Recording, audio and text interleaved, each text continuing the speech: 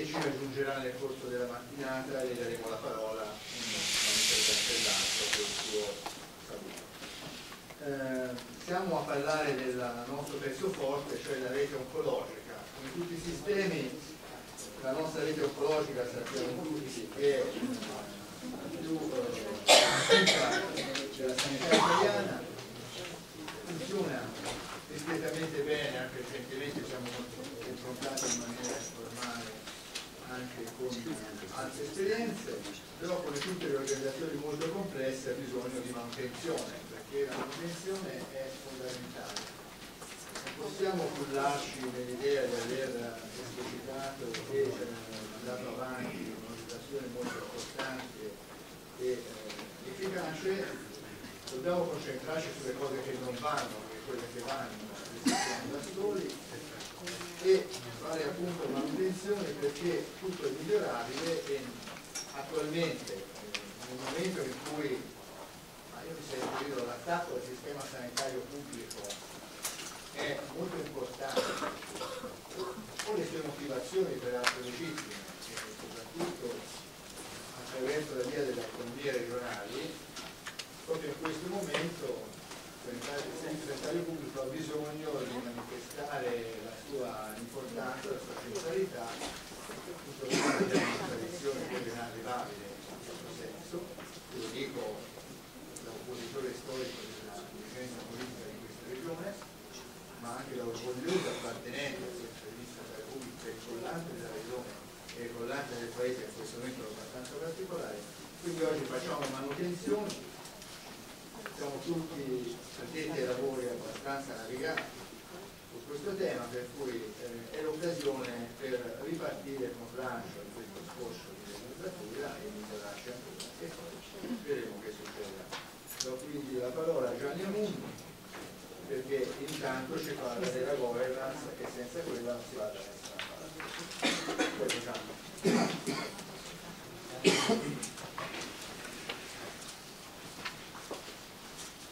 Sì, io parlerò del tema della governance che è forse eh, un po' un tema da addetti ai lavori, ma credo che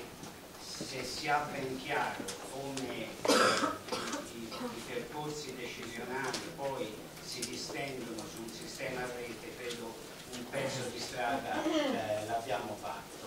Eh, questo mh, mm, un, eh, dire, un, riassunto storico della rete eh, in Toscana. Eh, noi parliamo di rete oncologica per la prima volta nel 1998, questo sgombra il campo tra la diatriba tra noi e i piemontesi su chi ha la più vecchia rete oncologica eh, in Italia, hanno tutte e due la stessa età quindi nel 1998 all'interno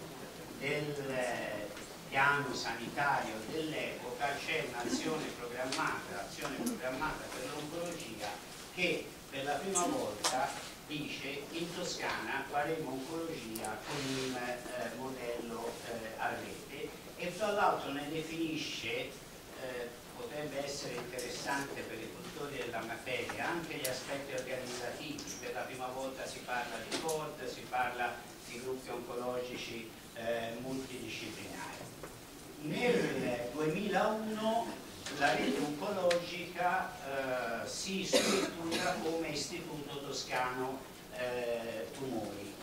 Eh, ho citato che nel 2008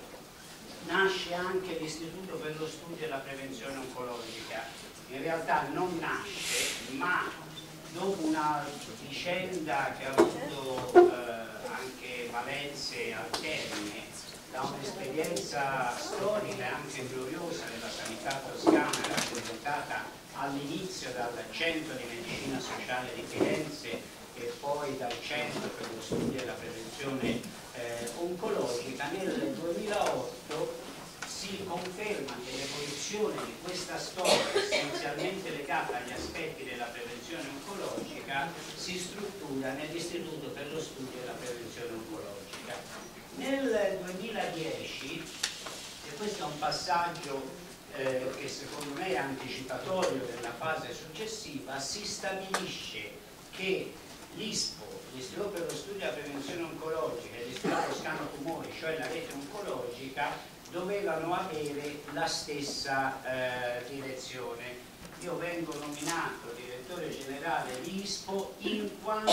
questa è la delibera, direttore dell'Istituto Toscano Tumori e quindi della rete eh, oncologica. Poi arriviamo alla storia eh, recente, nel 2018, fine 2018, nasce l'Istituto per lo studio, la prevenzione e la rete oncologica che accoglie, come vedremo dopo, al suo interno eh, queste due eh, esperienze. In questi anni si è parlato tantissimo di rete, eh, io credo che eh, la rete sia una delle parole eh, più inflazionate come l'appropriatezza, come il paziente al centro e così via. Tutti hanno parlato di rete, tutti hanno detto di aver fatto eh, una rete questo non è assolutamente eh, vero e allora mi sembrava giusto ricordarsi per un attimo quella che per noi è stata la definizione di rete eh, oncologica. Per noi la rete è una relazione strutturata, quindi non è una relazione amicale, è una relazione definita da procedure di un insieme articolato di istituzioni complementari. Guardiamo dall'alto un territorio eh, regionale, ci sono ambulatori di base periferici, ci sono istituti finalizzati alla ricerca, ci sono eh, aziende dedicate all'alta specializzazione, la rete significa mettere insieme tutte queste eh, realtà eh, tra loro diverse e trovarne la complementarietà. Se questa definizione è giusta, ma soprattutto se questa definizione è eh, come dire, declinata in atti concreti, tutte queste cose assumono un valore eh, aggiunto, è più facile fare sinergie eh, di percorso, è più facile ragionare in termini di casistica regionale, è più facile tentare quella continuità ospedale-territorio che ancora oggi è un elemento eh, di eh, criticità, è più facile governare l'accesso all'alta specializzazione e all'innovazione, è più facile governare eh, l'appropriatezza. E questo è il modello di percorso eh, di una rete oncologica. Vedete, tanti accessi diffusi nel territorio, quelli che abbiamo chiamato corde accoglienza, quelli che eh, in Piemonte chiamano GIC per esempio, eh, no, cassa in Piemonte, eh, tanti accessi diffusi nel territorio che rispondono a un criterio, che è quello della prossimità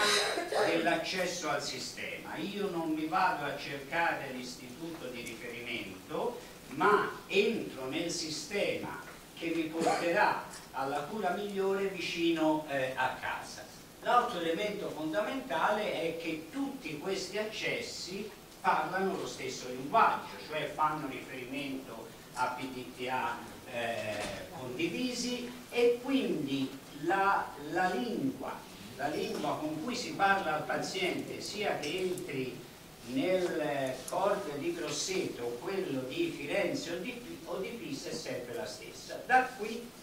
partono o dovrebbero eh, partire percorsi assistenziali condivisi che vedete eh, collocano il paziente nella sede più opportuna, più ergonomica per il bisogno sanitario che richiede. Questo significa che buona parte di questi percorsi possono eh, iniziare e chiudersi nella realtà territoriale in cui si sono, ciao, in cui si sono determinati, altri avranno bisogno di quelle sinergie eh, interaziendali fino a portare un numero limitato dei casi il paziente anche nella sede dell'alta specializzazione e della eh, complessità. Noi siamo sempre stati convinti che la scelta del modello a rete rappresentasse comunque un valore aggiunto per rispondere alle domande che più frequentemente il paziente oncologico e la sua famiglia si fanno quando hanno una diagnosi eh, di tumore. E guardate, sono domande sostanzialmente legate all'incertezza e alla paura, cioè ma io qui sono nel posto giusto, ci sono tutti i professionisti che mi hanno detto dovrebbero eh, seguire il, il mio caso, poi c'è la pressione mediatica, ma qui ci sono anche le terapie più nuove che ho letto eh, sul, eh, sul, giornale, c'è qualcosa che può venire dal mondo della ricerca o delle sperimentazioni. Ecco, essere dentro una rete significa essere anche dentro una rete di protezione che ti aiuta in qualche maniera a superare questi dubbi, ma siamo anche convinti che il modello a rete sia quello più in grado di superare alcune criticità dell'oncologia. Guardate, eh, eh, quelle che vedete qui scritte sono quelle che ognuno di noi vive eh, quotidianamente a seconda del ruolo che svolge nella filiera oncologica, ma davvero tutti i cittadini sono uguali nell'accesso al sistema, ma davvero dappertutto l'oncologo medico, il chirurgo, il radioterapista eh, lavorano insieme in maniera contestuale. Eh, questo tema della continuità di cura quando passo da una fase terapeutica all'altra è eh, garantita e aggiungo il tema della innovazione che deve stare dentro i percorsi assistenziali ma che non sempre è un diritto fruibile fino all'ultimo tema, quello della sostenibilità economica, che è un tema rilevante. Voi sapete che è in essere tutta una discussione del concetto di rete come momento per un buon utilizzo delle risorse che sono sempre più a rischio ed è a rischio, mi richiamo a quello che diceva Enrico nella eh, sua presentazione, è, è, insomma, è sempre a rischio il diritto che davvero tutti i cittadini siano uguali di fronte alla prospettiva di cura. E la rete serve anche, serve anche a raggiungere con più facilità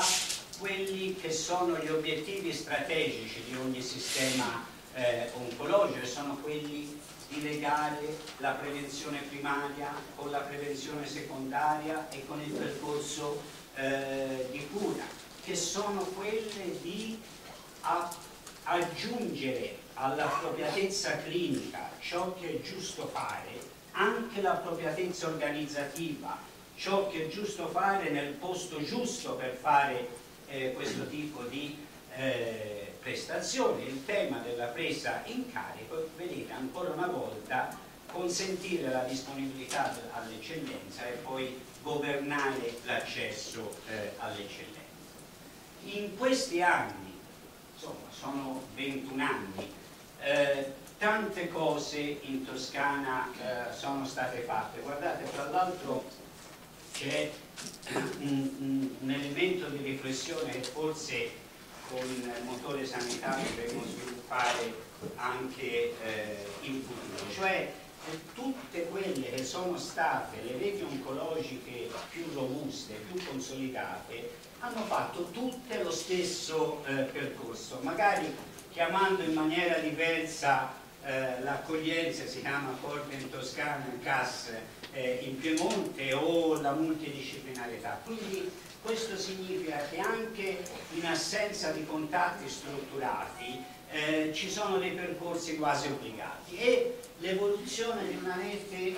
passa attraverso tre modalità di azioni che si intersecano tra di loro. All'inizio va valorizzato il concetto di rete, va comunicato il concetto di rete. Guardate, anche per il professionista lavorare in rete è lavorare in una maniera diversa da da quella con cui siamo stati per esempio eh, preparati o eh, formati. Poi c'è una fase in cui la rete si dota di infrastrutture e service per l'intera rete che sono la dimostrazione concreta che essere in rete produce qualche cosa di più. E poi c'è la fase, quella eh, più complessa, anche quella più stimolante, quella più fortemente legata agli aspetti della governance che è quella della modulazione eh, dei nodi e del governo della casistica verso i centri più eh, appropriati.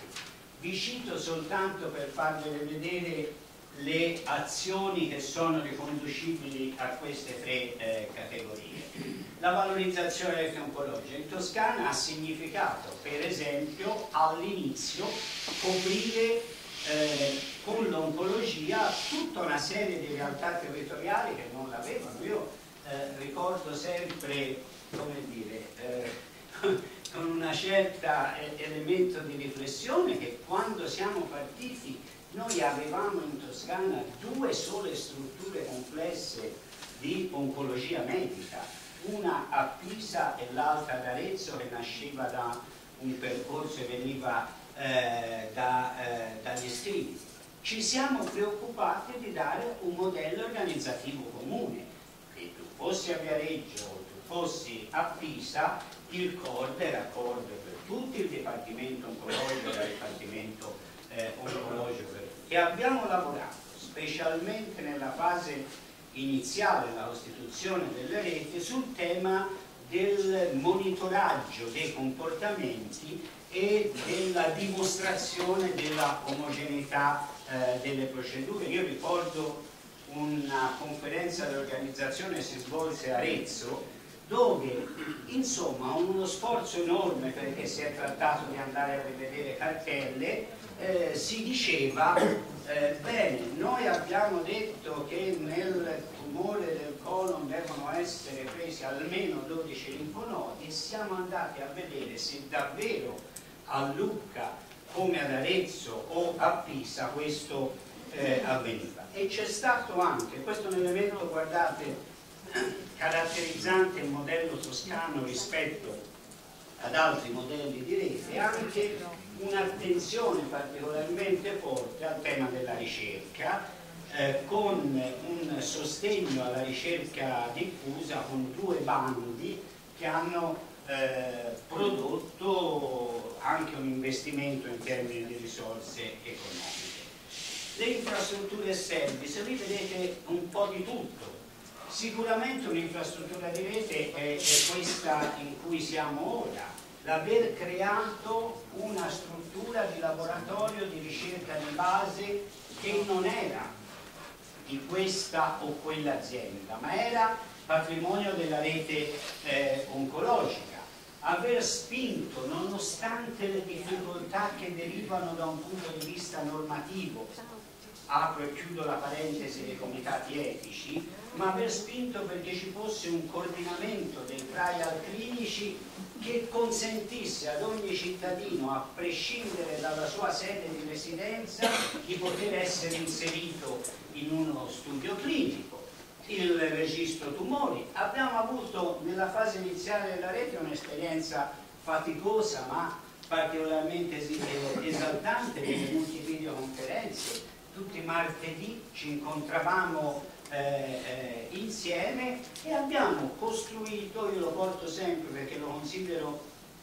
una conquista importante del nostro modello, un numero verde per eh, l'oncologia attivo eh, in tutta la settimana che ha rappresentato dire, un formidabile meccanismo non solo di supporto al paziente perché eh, sostegno psicologico, orientamento eh, nei, nei, percorsi di rete, ton ton, ma ha rappresentato anche una formidabile fonte di informazione per capire quali erano i problemi e come eravamo eh, vissute. E poi la fase della modulazione degli snodi e del governo della eh, casistica, fase faticosissima, eh, quella di cui mi sembra parlerà dopo eh, la Luisa Fioretto, quella di aver pensato che buona parte della patologia oncologica doveva essere trattata con qualità nei diversi nodi della rete, ma che per alcune patologie oncologiche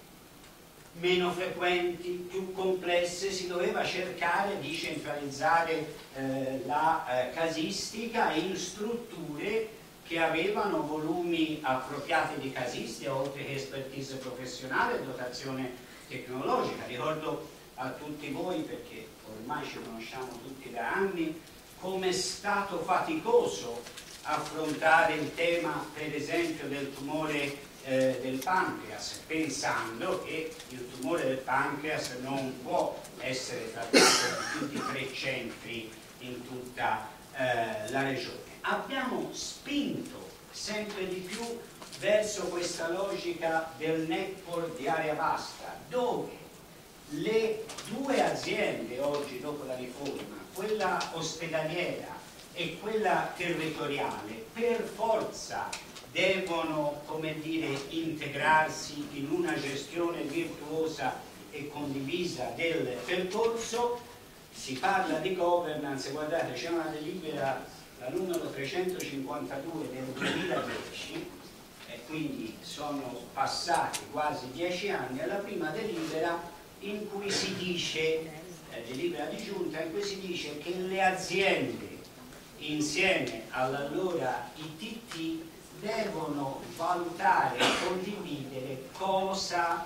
eh, centralizzare in una sede, cosa diffondere in un'altra e poi è il tema più complesso del nostro eh, lavoro. Noi abbiamo, eh, come dire, viaggiato molto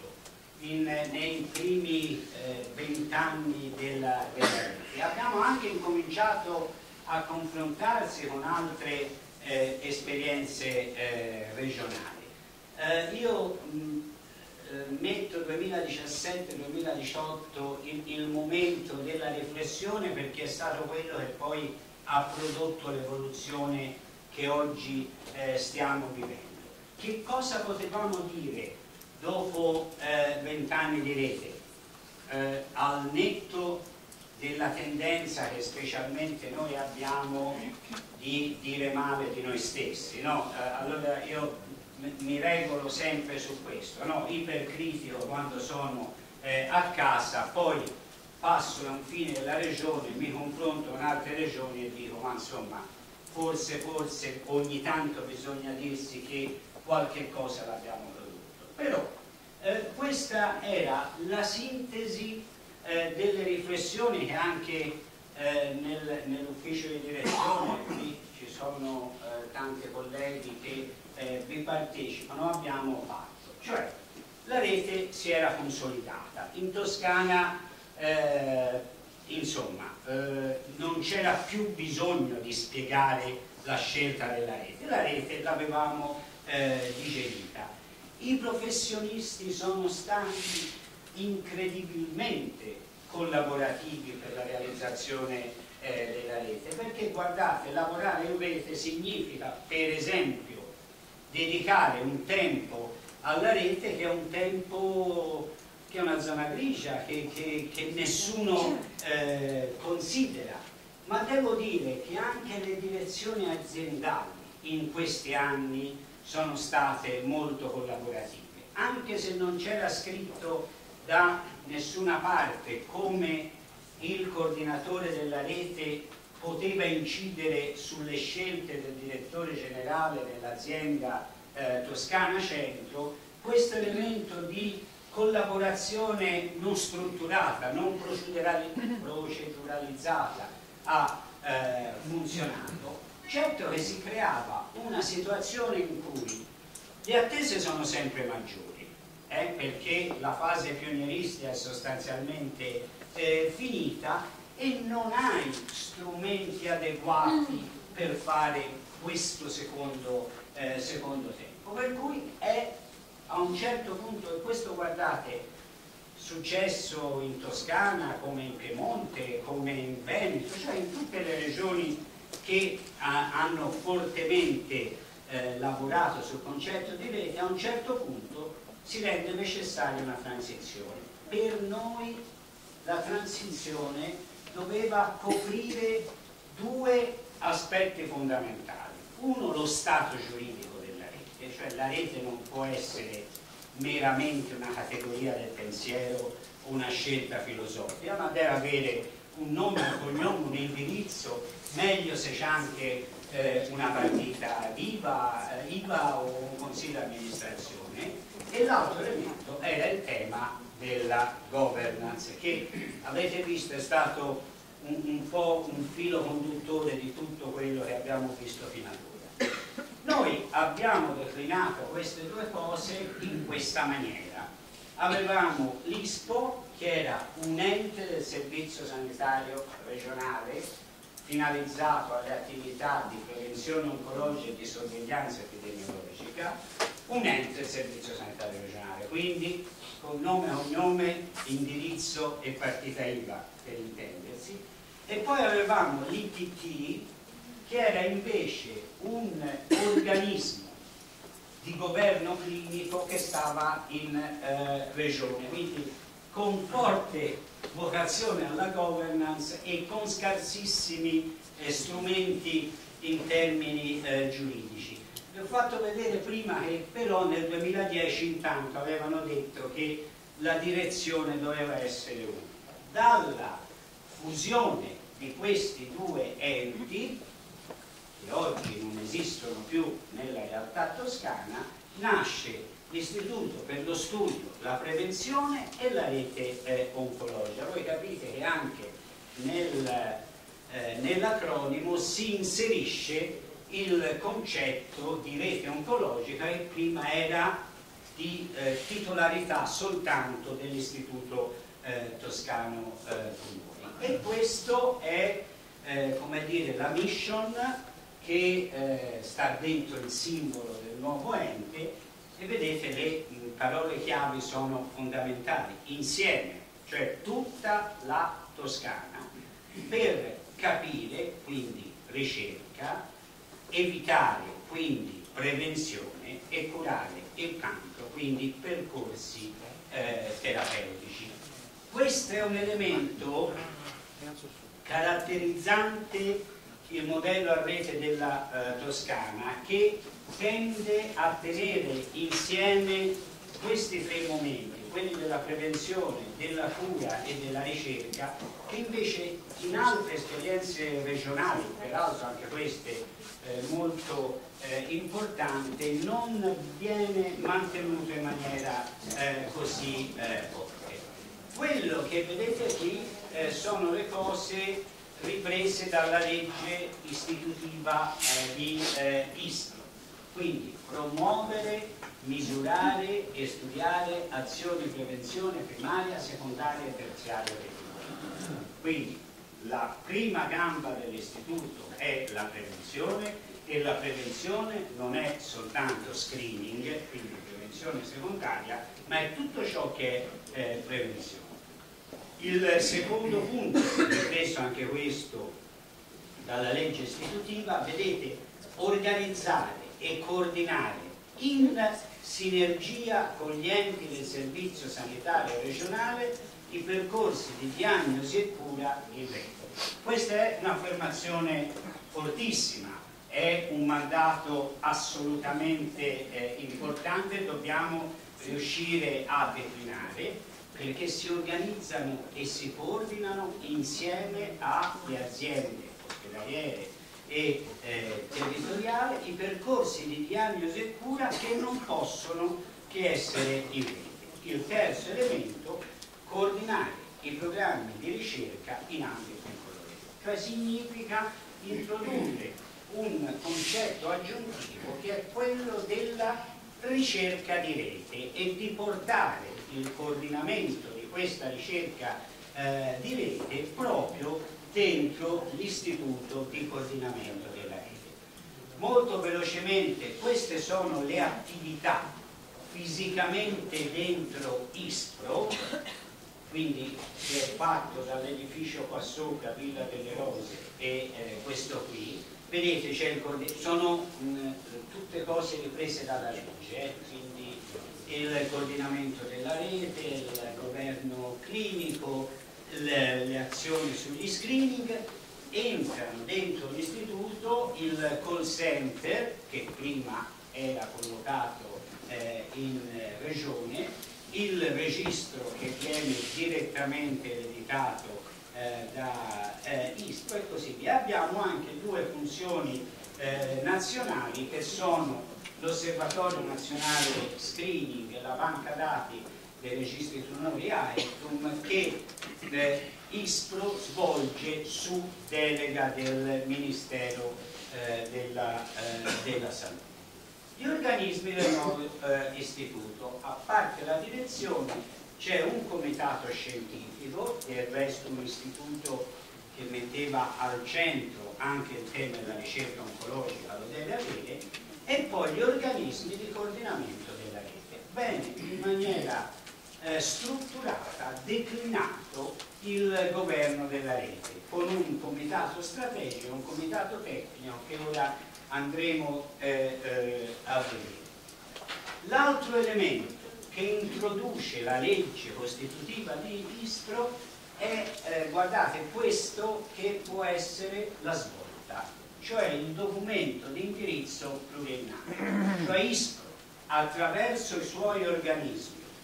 deve produrre un documento di indirizzo pluriennale per l'oncologia che ovviamente deve essere coerente con il piano sociosanitario ma che vedete individua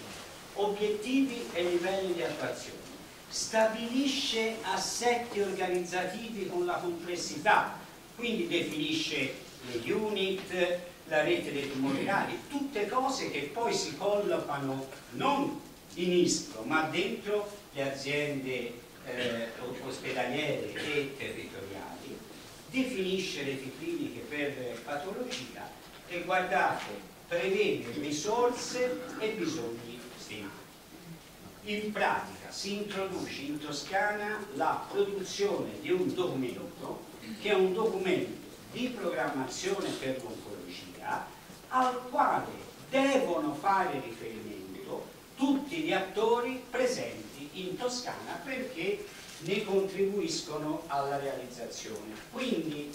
eh, questo per gli appassionati, non molti, del sistema degli aspetti governance è un passaggio assolutamente centrale perché definisci il perimetro entro cui eh, ti puoi muovere. Non può esistere che un'azienda X eh, definisca di fare una cosa, so, investo in agroterapia, che non sia dentro il documento di indirizzo. Il comitato scientifico molto velocemente è composto da sei membri più un eh, coordinatore, tre sono membri del servizio sanitario regionale, tre membri esterni, vedete le eh, funzioni